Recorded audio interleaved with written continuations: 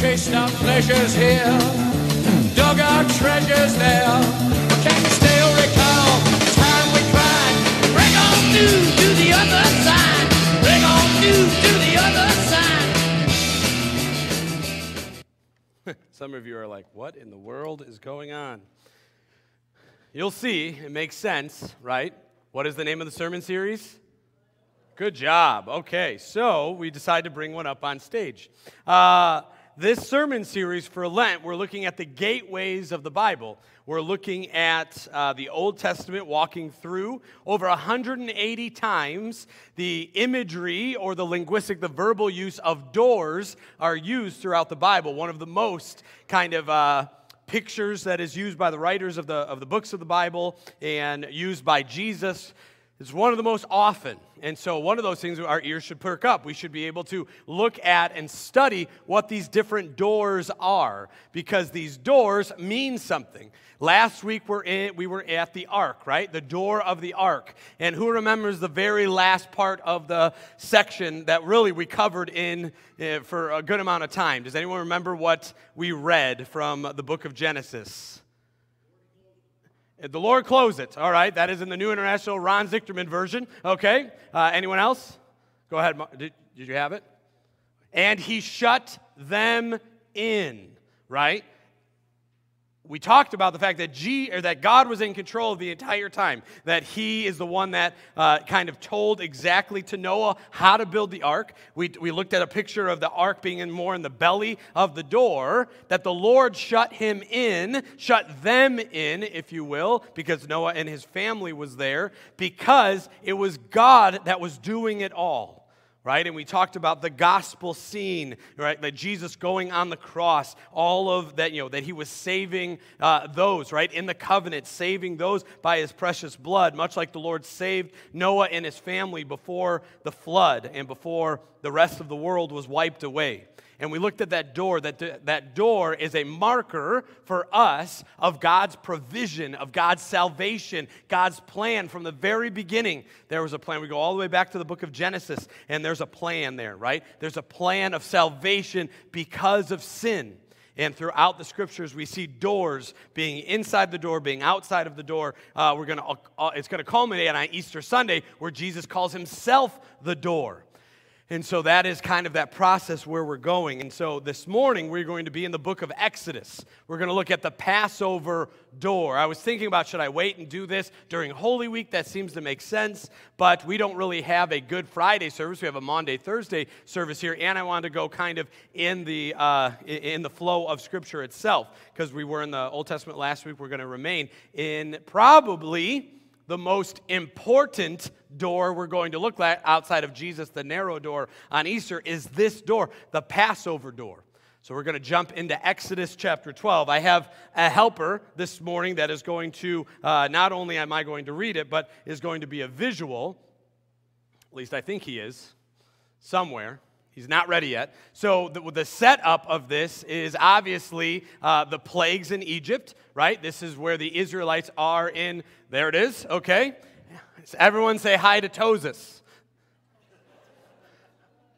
Moses didn't have glasses, so that's why we have to change it. But this is, uh, this is Moses, uh, or Toses, however you want to look, call him. And he's going to demonstrate for us as I read how the Passover door explanation came about, right? Because we're in the plagues in Egypt. The last plague, which was the plague of what? What was the last plague in Egypt? Angel of death, right? So it kind of puts coronavirus in perspective. And so, and so uh, we're going to talk about the Passover door and what that signifies. And so we're going to be in Exodus chapter 12, starting with verse 1. The Lord said to Moses and Aaron in the land of Egypt, This month shall be for you the beginning of months. It shall be the first month of the year for you. Tell all the congregation of Israel that on the tenth day of this month, every man shall take a lamb according to their father's house, a lamb for the household. And if the, if the household is too small for the lamb, then he and his nearest neighbor shall take accordingly to the number of persons, according to which you, can, you, uh, you eat, you shall make your count for the lamb. Your lamb shall be without blemish, a male a year old. You may take it from the sheep or from the goats. and you shall keep it until the fourteenth day of the month. Then the whole assembly of the congregation of the Israel shall kill their lambs at twilight. Then they shall take some of the blood and put it on the two doorposts and the lintel of the houses in which they eat it. They shall eat the flesh that night, roasted on the fire with unleavened bread, and bitter herbs they shall eat it. Do not eat any of it raw or boiled in water, but roasted its head with its legs and its inner parts. And you shall let none of it remain until the morning. Yet uh, anything remains until the morning, you shall burn. In this manner you shall eat it, with your belt fastened, your sandals on your feet, and your staff in your hand. And you shall eat it in haste. You shall eat it in haste. It is the Lord's Passover, for I will pass through the land of Egypt that night, and I will strike the firstborn in the land of Egypt, both man and beast, and all the gods of Egypt I will execute judgments. I am the Lord. The blood shall be a sign for you that on the houses where you are, and when I see the blood, I will pass over you, and no plague will befall you or destroy you when I strike the land of Egypt. This day shall be for you a memorial, and shall keep it, in, keep it as a feast to the Lord. That is a reading of Exodus chapter 12 of the Passover.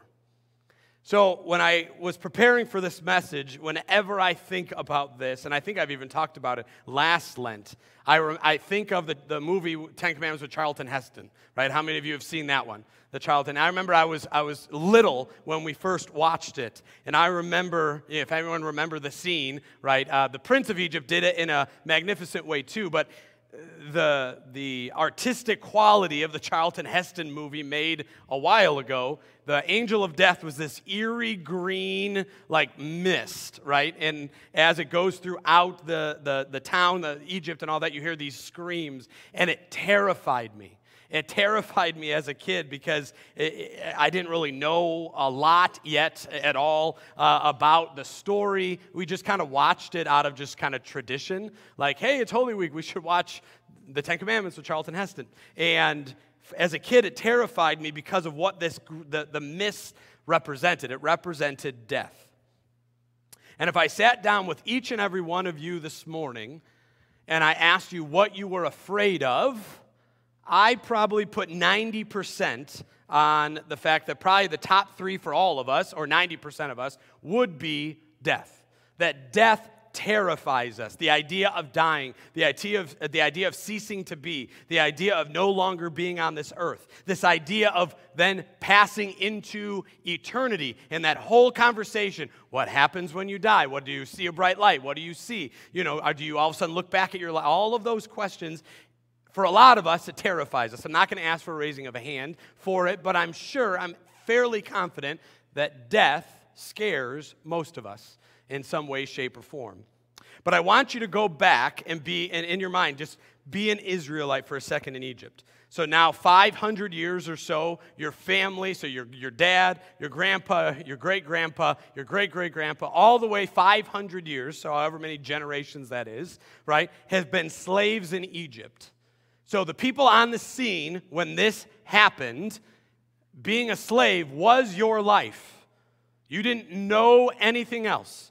You didn't know a time when your family was free because it goes back 500 years that you were a slave. That's the life you knew. You knew the Egyptians as your slave masters. You knew the building of temples and you knew uh, the, the erecting of the pyramids. You knew all of those things and then things start to change. You have quite the couple weeks. All of a sudden, this guy Moses shows up, which some of the people knew, right? Uh, Aaron and Miriam, they knew Moses, they were related to him. And so, this guy that claims to be one of us, right? If we're an Israelite, he claims to be one of us, and that he's going to go and demand to Pharaoh that we all be set free. So try to get as best you can because I have a question I want some of you to answer. All you know is slavery. What would be the thoughts you would have when you hear the word freedom? Hallelujah. Interesting. Okay? Hallelujah. Anyone else? Pipe dream. Absolutely. I don't know if that's a biblical term, but that's probably would definitely be a thought, right? A pipe dream. Whoever said pipe dream, why? Too good to be true, okay? So you have some skepticism. Absolutely. Others?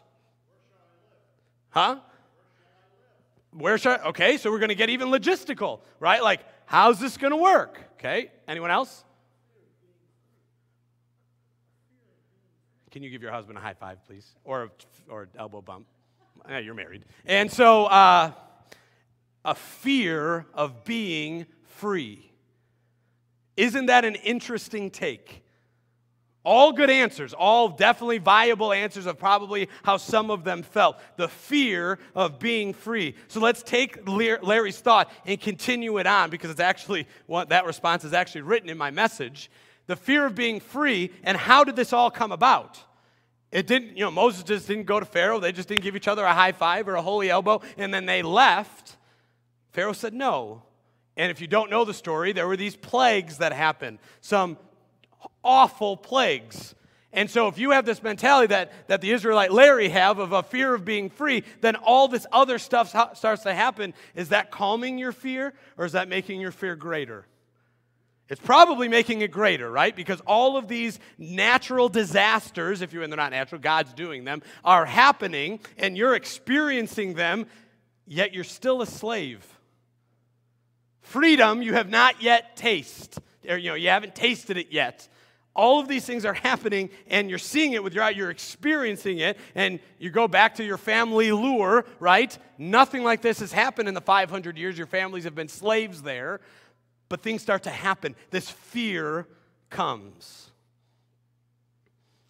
And there's a lot. If you go back to the book of Exodus, the whole beginning of the book of Exodus, you have all of these plagues. You know, God's promise of deliverance, and then you go into chapter 7, and the plagues start. The water turned into blood. The second plague, which is frogs. The third plague, which is gnats. The fourth plague, which is flies.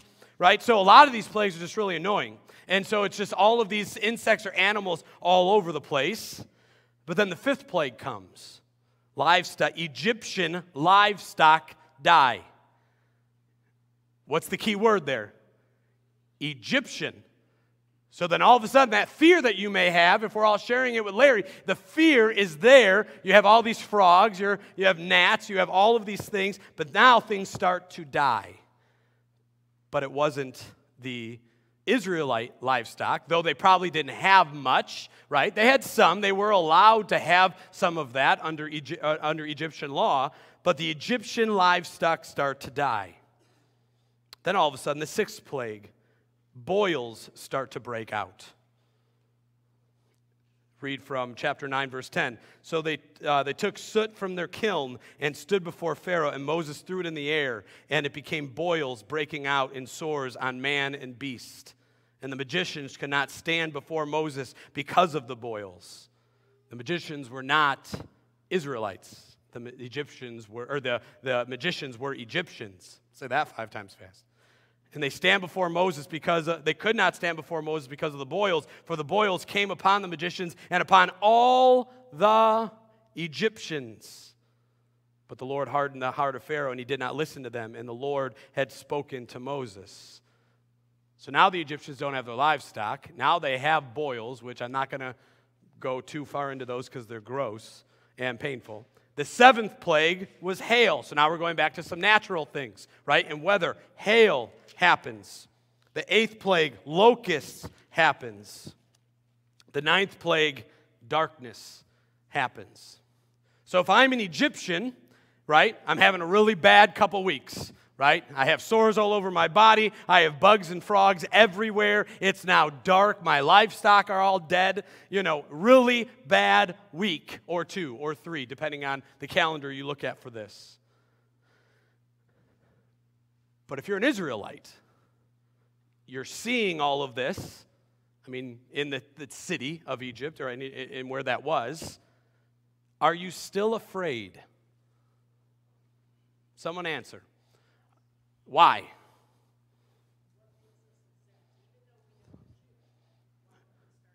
What? Yeah. So you're almost kind of like, when is the second shoe going to drop? right? You know, and I'm sure that skepticism is, you know, of 2020 is probably there still. And so that fear doesn't really go away.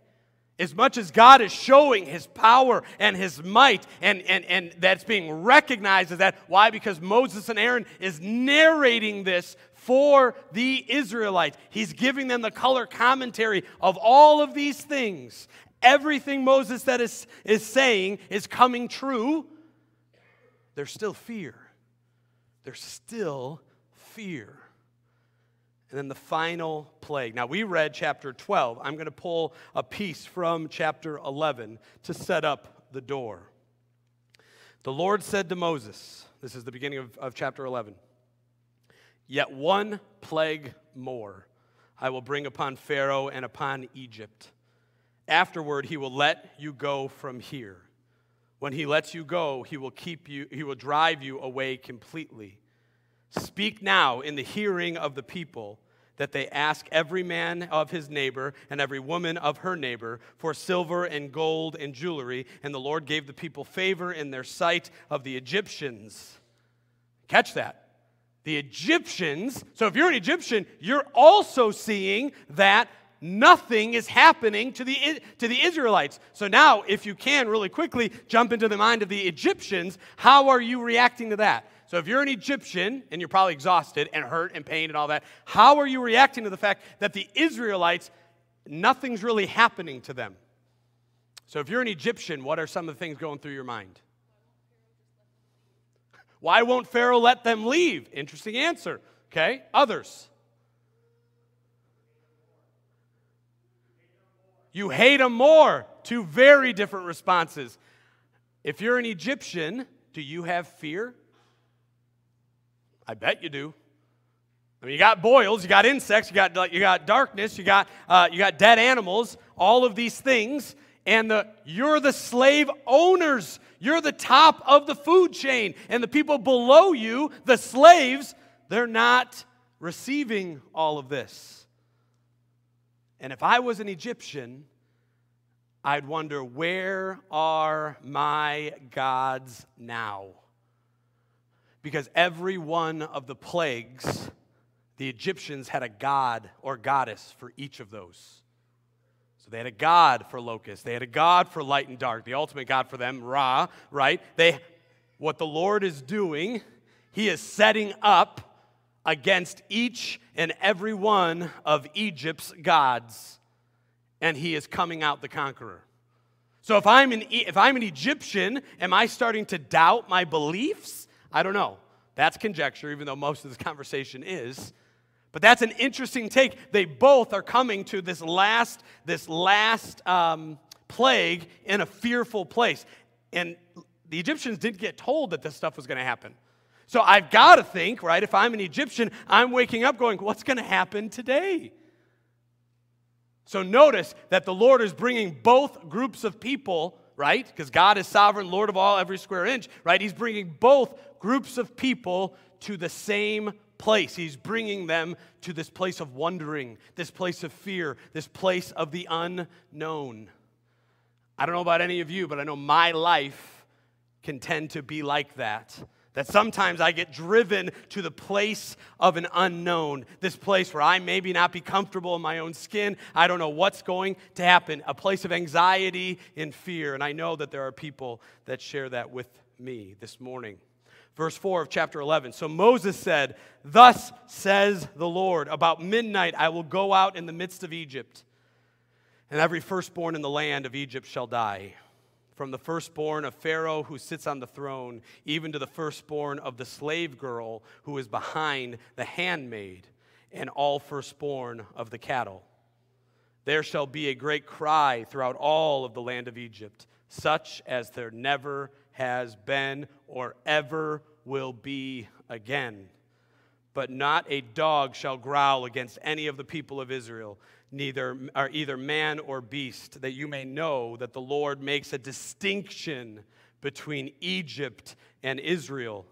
And all your servants shall come down to me and bow down to me, saying, Get out, you and all your people, get, uh, and who follow you.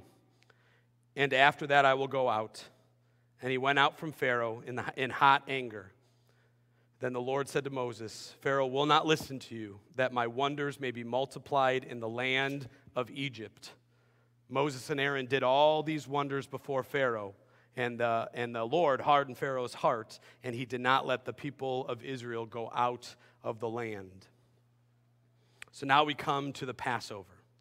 Now we come to, and notice in the beginning of what we read for the text this morning, this is starting anew for the Egyptian, or for the Israelites. The Lord said to Moses, This month shall be for you the beginning of the month right? The same Hebrew word in the beginning, we see Moses write in the beginning of Genesis. In the beginning, God created heaven and earth. This is the beginning, right? This is the new, the fresh start, if you will, for the Israel life.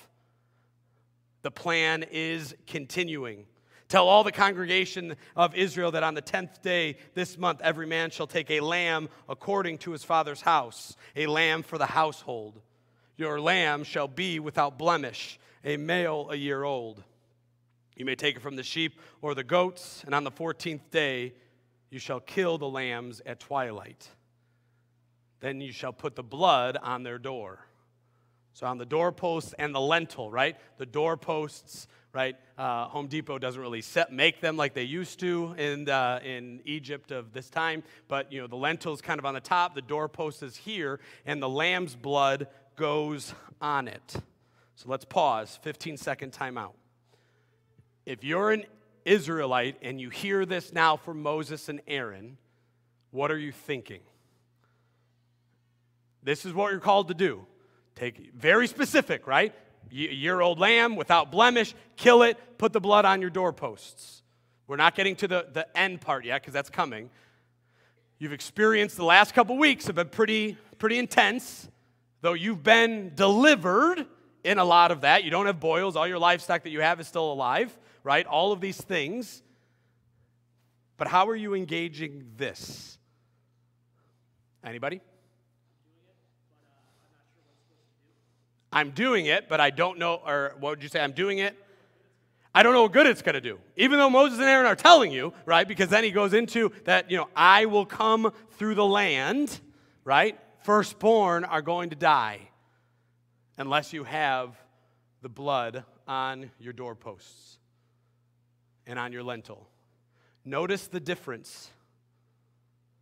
The other nine plagues, the Israelites did not have to do a thing. But for the tenth one, they did. Why? Obedience. A test of faith. Good answers. They have to take ownership Interesting. Anyone else?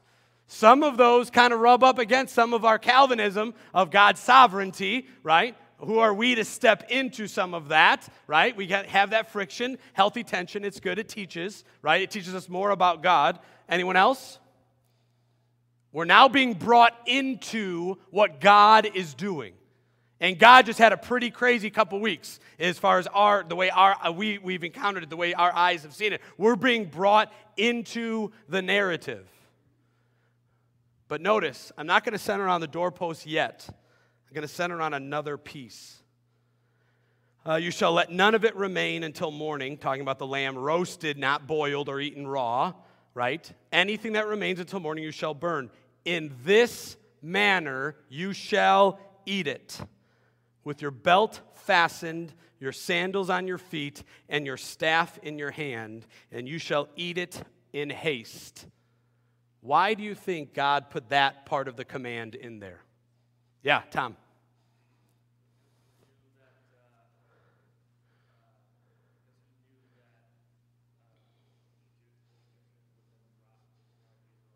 Yeah. So really you're setting up, you're going somewhere, right? This isn't, you know, put on your Thanksgiving pants. This isn't get all comfy. This isn't we're going to lounge around, right? God's still doing something. Something's going to happen. And I love what it says, right? You shall eat this and you shall eat it in haste. This is tying the gird up on your loins, right? This is getting ready to go. It is time. We're, this is the new thing for Israel. Israel will no longer be slaves. I am the Lord.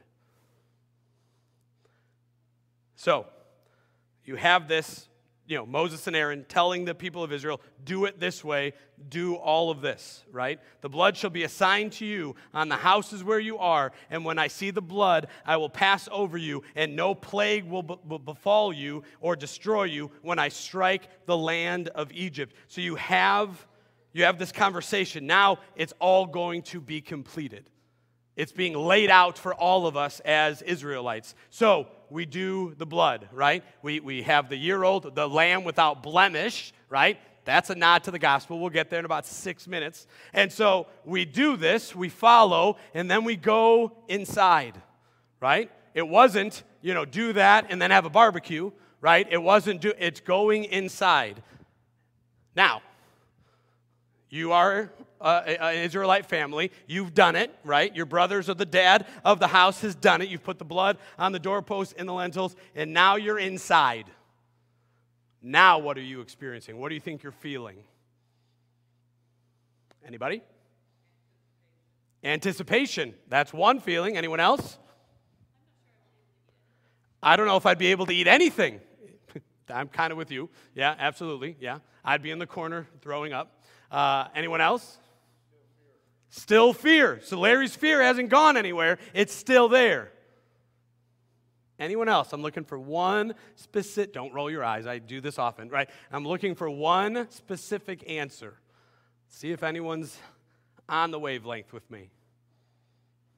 You're sitting there, the blood's on the doorpost, and notice a great cry is going to come out like there's never been and will never be again. This isn't a silent death, right? This isn't all of a sudden just boop, gone. Huh? You're keeping an eye on the firstborn? Sure, absolutely. Yeah. Oh, right here, yeah. Doubt. Why doubt? It's an excellent answer. Why doubt? Someone give her a high five. Three people give her a five. It's a biblical number. And so, I, so you're sitting there. You have fear. Maybe you have confidence. I'm sure some of us may be there too, right? If I'm Moses, there's a part of me going, oh, I really hope this works, right? Like, I mean, there's some of that. If we're going to engage it honestly in our 2020 minds and our 2020 bodies, going back, looking, and we're engaging it, there's got to be doubt there's got to be sitting there and wondering, right? Sitting there, and I, think it's in the Prince of Egypt. They show uh, a family, uh, you know, I think it's a mother and a father huddled with their kids in the corner of the house, right? I think that's probably a good depiction of how they're feeling fear and doubt. But in order to have faith, that's, some that's going to be tested, right? We just got through a whole book of First Peter talking about that. That as this is happening, the cries are coming out if I, had a, if I had a picture of the map, I'd show you, right? It's not like they were all intertwined. It wasn't like one street was Egyptians, one street were Jews. The Jews were all kind of in the, in the slave quarters, right? The Israelites, I should say, were all in the slave quarters. But you notice the cries are coming from down the street and cries like you've never heard before. Your family have been slaves for fifth or for 500 years, right? They've been whipped, they've been beaten, they've probably been murdered and killed. All of these things, and we are caused we are called by Moses to put our faith in this situation that God has a plan that he's going to do it. And he's asking you to put the blood on the doorpost and the Passover will happen. You have a meal, if you're me, you're throwing it back up. And if anyone's ever had the Seder meal, that's gross. And all of those things, right? And you're sitting there, the faith it must have taken, but also that friction, that battle that she talked about. That if I'm sitting there, I have faith and I have doubt, and they're wrestling with one another. But all the while, in the back of our mind, God is in control. Now, some of these Israelites, they've blasphemed against God. Some, I'm sure, have left the faith, if you will, in that because they just can't stand. They can't live their lives as slaves and they just, they want to give up. But then the Passover happens. Exodus 12, starting with verse 29. At midnight, the Lord struck down all the firstborn in the land of Egypt, from the firstborn of Pharaoh, uh, who sat on his throne to the foot. I, love how Moses put that. He's sitting on his throne as his firstborn is dead. Uh, to the firstborn of the captive who was in the dungeon, and all the firstborn of the livestock. The livestock really took a hit over the last couple weeks. And Pharaoh rose up in the middle of the night, he and all his servants and all the Egyptians, and there was a great cry in Egypt, for there was not a house where someone was not dead. Then he summoned Moses and Aaron by night and said, Up, go out from among my people, both you and the people of Israel, and go serve the Lord you have said. Take your flocks and your herds as you have said, and be gone, uh, and bless me also. That's a whole nother sermon series that I'm sure we'll get to. Bless me also. And then we get the Exodus, and then they leave. So if you're an Egyptian and you've just experienced the Passover, you have to remember a couple things. As I round third this morning, the what does this signify? What does the door signify about our lives? And how does it point towards the gospel? I want you to remember one thing about this. Remember this and allow it to wreck your week the way it wrecked mine. The Lord did not check inside who was worthy. He didn't go inside. He didn't go and interview the Israelites, the angel of death, and say, How long have you gone to church? How much money do you give in the offering plate? When did you make profession of faith? When did you do this? How do you serve on committees? Do you do all of these things? How is your faith lived out? The angel did none of that. He did not go in and see who was qualified, who was not qualified. He did not go in and, and hit a checklist. He did not go in and do an assessment. He did not go in and flip a coin. He did not go in and roll the dice. He did not go in at all. God checked the blood. He checked the blood on the doorposts. None of us, friends, are worthy. It's only through the blood of Jesus Christ. That's what we remember from the Passover. If you have any Jewish friends, that's what they take from the Passover story. The door, the angel of death. And at one point, all of us, unless we're brought to glory before then, will taste death. But on the Passover night, the Lord did not check the qualifications. He just saw the blood and he passed over those this morning that are in Christ, the blood of Jesus is over your life. The blood of Jesus is over every square inch of your life. And God, that's what God sees. It's not because you're good enough. It's not because you do enough. It's not because you say enough. It's not because you say the right things. It's because you've submitted your life to Jesus, and the blood of Christ covers you. The blood of Christ keeps you from God's wrath, keeps you from God's judgment, like we saw last week with the door, right? We saw God as grace giver and God as ultimate judge. That during the story of the flood, people died. In the story of the Passover door, the peop- there are people that died, but God sustains those who claim Him that God sustains those who submit their lives to the Holy One, who submits their lives to the King. So if you are here this morning and you don't know Jesus that way, you don't know Jesus as Lord, you, you, you maybe you're here as a skeptic, maybe you've been burned by the church, by a pastor, by a Christian, uh, by whatever, and you're skeptical about this life, you're skeptical about all of this. Please ask that question who is this that who is this Jesus that saves? Who is this Jesus that does not look on the outward of all that you've done, will do, but looks at your heart? If you're here today and you have never confessed your sins, you've never claimed Jesus is Lord, please come see me after service. Come find someone on the band, find one of the elders that are in the back, one of the deacons that took up the collection. Ask them that question Who is this Jesus that saves? What is this blood all about? Why did he die? Because Jesus was the Passover lamb. Jesus was the lamb without blemish that was sacrificed for you and for me. That on the cross he said, Father, forgive them, for they know not what they do. And when he said, It is finished, like we prayed about, that relationship was restored. So, how does the Passover door point us to Christ? Because Jesus is the lamb for each and every one of us. That Jesus was the lamb without blemish, right? Jesus was the lamb that was slain that you and I may have everlasting life. So when we get up there, and this is the gospel according to Jim, right? My sister who passed in August, I, I, I have this vision and I've had this dream, and, sometimes it feels more like a nightmare, but I, I engage it that when Lynn got up there and Lynn claimed Jesus as Lord of her life, and she was standing before a holy and just God, Jesus came out, put his arm around her, and said, Dad, she's with me. And into eternity she went.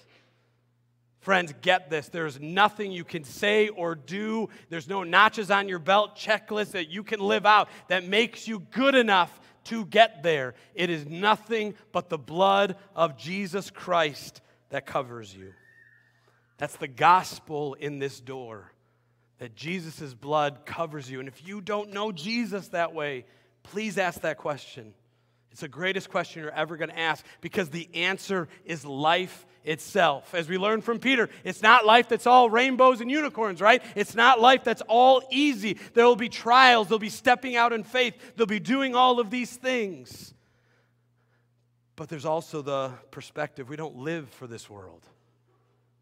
We're going to do our best. We live as a people of grace, seeking forgiveness daily. At least I do. And we know that the best is yet to come because the blood of Jesus covers us. Let's pray. Father, to be an Israelite during that time would have been quite the, the roller coaster. A lot of ups and downs, a lot of fear and even doubt. But Lord, you showed up in a powerful, powerful way you showed up in a way that was life changing. And God, it wasn't just a, you know, a story that we read of your goodness from long ago. It's a story we can read every day. That you continually show up because your blood covers us. It covers us from who we were from who we are and who we will be. That God, in you is total salvation, in you is life and life abundant.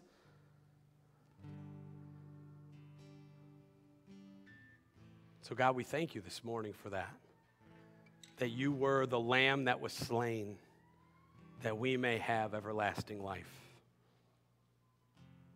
Father, we read that in the book of John, right? For you so loved the world that you gave your one and only Son, that whoever believes in him will not perish but have everlasting life. May there be someone here this morning that doesn't know that. May they come to know that this morning. May they ask the person they elbow bumped this morning at the greeting God, who is this Jesus? Why do you follow him? What is this all about?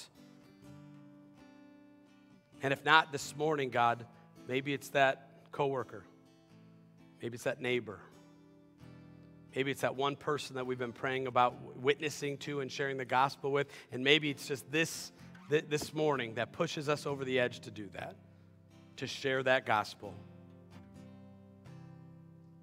God, it's none of our doing. You've done the work.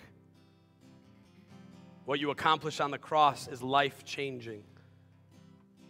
May we be a people that live that out and our plans and what we're trying to do here as a church, may none of that get in the way of the mission you are driving through us to share the gospel, to save souls for Jesus. When it's all stripped down, may that remain, God. It is nothing but the blood of Jesus. May we live that daily anthem out, that others would see that and come to know you as Lord and Savior. So again, we say thank you. And we pray this in the name of the Father, Son, and Holy Spirit. Amen. If you'd stand, I'll give you the final blessing. We'll sing our closing song, and then there's a time of fellowship on my right and your left in the annex uh, to continue our elbow bumping and having cookies and coffee there. May the, the Lord bless you and keep you in this week. And remember, the blood of Jesus covers you. And as he blesses you and keeps you, may his face shine upon you May he be gracious unto you. May he lift up his countenance upon you to bring you peace, which always passes our understanding. In the name of the Father, the Son, and the Holy Spirit, we all agree and said, Amen.